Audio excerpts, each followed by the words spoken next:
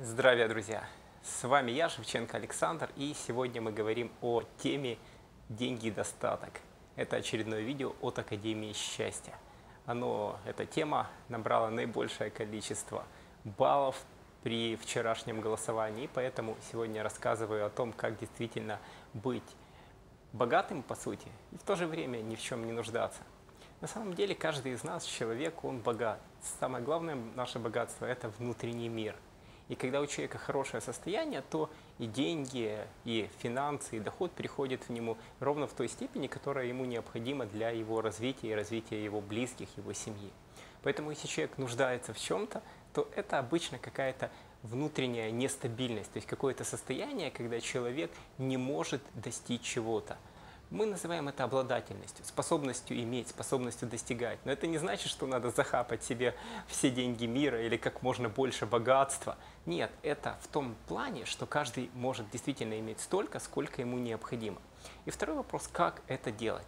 Первое – это, конечно же, намерение. Намерение в том плане, чего хотите, чего хочет ваше «я», ваша душа. И второй момент – это принятие. Принятие того, что дает Вселенная. Вот так здесь такое происходит. То есть поток вовне, как бы изнутри, это намерение. Вот. Хотелось бы так вот. И второе – это принятие. Вот дает Вселенная такие вещи. То есть я принимаю это, то, что мне дает. иногда бывает так, что приходит сразу, иногда позже, иногда дольше занимает. Но самое главное, что это всегда приходит в том или ином виде. Если у вас такой широкий запрос – то он также и будет приходить. А если вы хотите более точно что-то сформулировать, то есть такой тонкий запрос, он тоже может прийти вот таким вот тонким, тонким, тонким. Поэтому самое главное – это очищать сознание. И, конечно же, я тут не открою какого-то огромного секрета в том плане, что люди духовные, они имеют все, что хотят.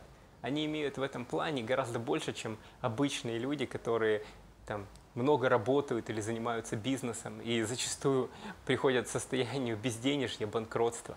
Поэтому самое важное – это когда развиваешь свой духовный мир, увеличиваешь осознанность, и уходит все ненужное, уходят те вещи, которые мешают, которые заставляют быть несчастным. А когда счастлив, то ты можешь легко получить деньги и можешь легко быть самодостаточным. Потому что достаток это не просто деньги. Деньги это лишь промежуток между достижением желаемого и самой целью. В данном случае можно многое получать без денег, ведь деньги были созданы просто как продукт для обмена, как то, что можно использовать, чтобы обменивать товар или услуги. И второй момент, конечно же, он очень важный, что каждый человек, он может сам создавать свои деньги, свой доход и то, что он может менять на что-то другое. Это его талант, его умение, его дар. И он есть у каждого. Главное его открыть в себе.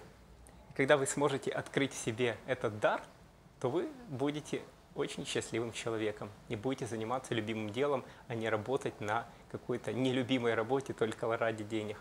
Поэтому я предлагаю вам такой вариант. Кому, конечно, это интересно, кто хочет открыть себе этот дар, пишите мне комментарии или в личные сообщения. Мои контакты будут под этим видео.